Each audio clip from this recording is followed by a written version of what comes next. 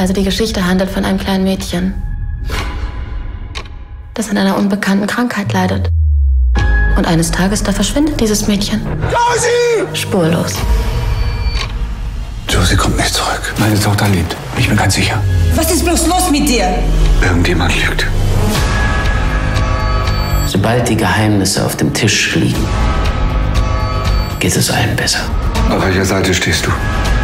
Gestern war eine Frau hier, die hat sich nach Ihnen erkundigt.